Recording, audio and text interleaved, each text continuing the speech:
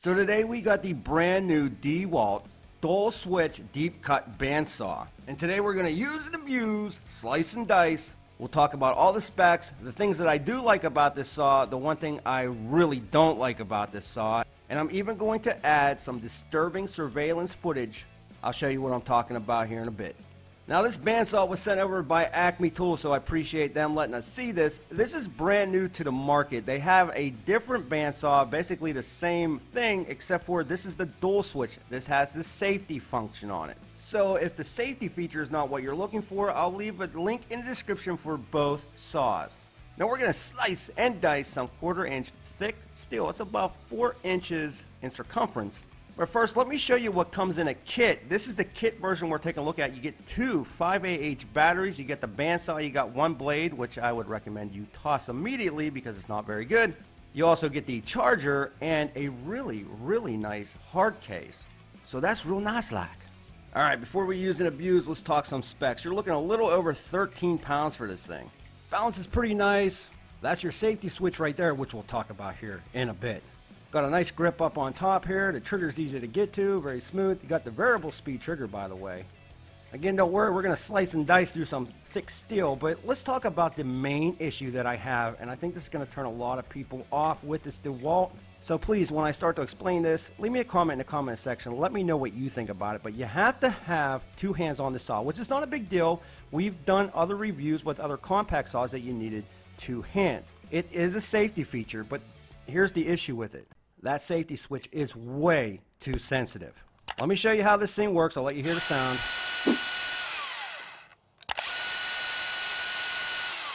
So you have to pull your trigger first, then push down on your safety paddle, and then it'll kick on, not the other way around. Which right off the bat, if you're trying to make awkward cuts or whatever, you're to really struggle with this. You can't use it one-handed, which is fine. Again, there's other bandsaws that we tested that had the safety paddle switch, but this thing is so sensitive. The most sudden movement on this, your hand releases from that and it just shuts it down. It's very, very frustrating. Again, we'll show you that in action here, but there you go. The blade spins pretty smooth. Everything on this saw, really heavy duty. I'm very happy with the build quality on this. It stops very quickly when you release that trigger. You can also adjust your blade tracking right here. Simply use a flathead screw. You do have your Allen wrench and you do have your release right here for the blade when you go to change it. I would suggest you change that blade out when you first get this because the blade that comes with it, not so good. So let me show you real fast. You just loosen that up. You can see it loosens right there and the blade just pops out. You put a new one in right in between. That's a really nice gliding motion. Really happy with that. It's very simple to do. Just slide that blade right back in like so. Tighten it down, pull the trigger, let it line up, and it's ready to go for the next cut. There's your blade rest or your blade stop. Just keeps it from jumping around really when you're cutting your material. I'm going to tell you it's not really adjustable. I mean, technically you could move it a little bit if you wanted to, but bummed out about that.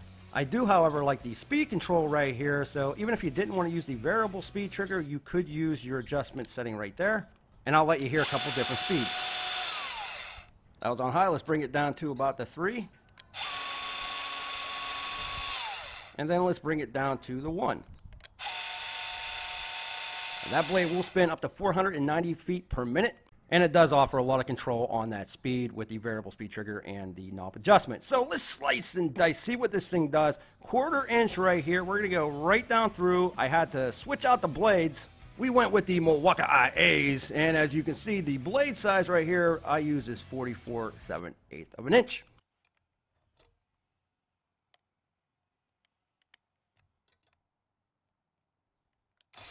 All right, so let's check this thing out here.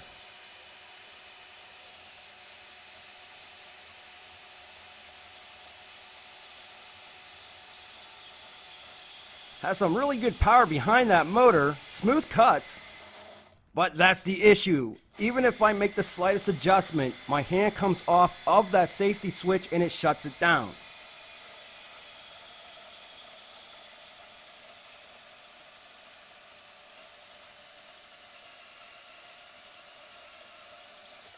Just a reminder, that pipe around four inches in diameter and that safety switch, not good. Here's a different angle.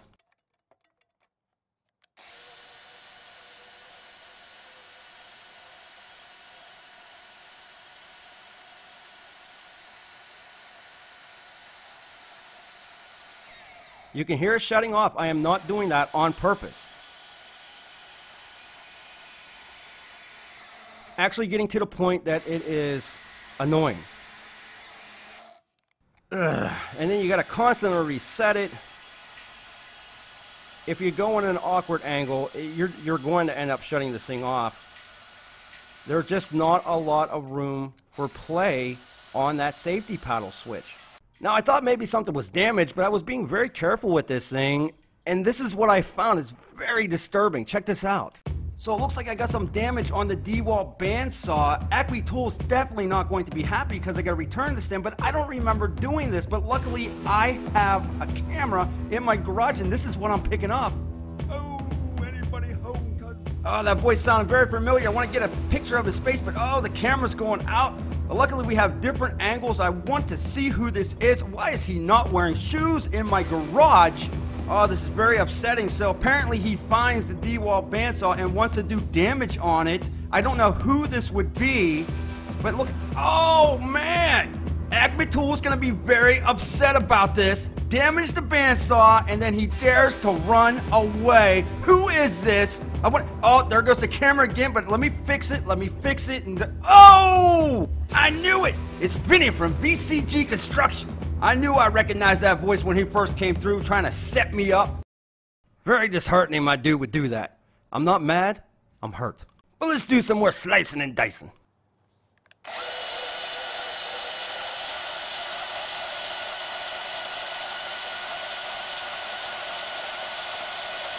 So again, those cuts, pretty smooth. Definitely enough power to this.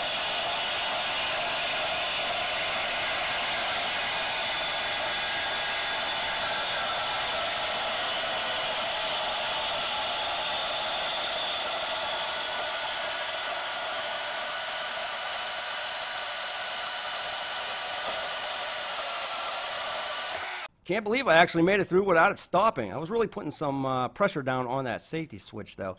Let me show you what the issue is. We're going to pull that and there is not a lot of play at all. You just let go uh, just a hair and it will shut off and then you got to reset it again.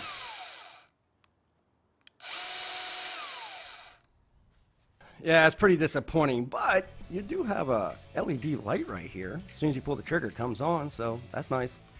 So here are my thoughts. I think the build quality is awesome. And, uh, you know, I make no bones about it. I love DeWalt saws, but this one here, I, I just can't recommend it. However, that said, I would definitely recommend the exact same saw that came out a couple years ago that does not have that safety paddle. Again, I'll put a link in the description below for both of these.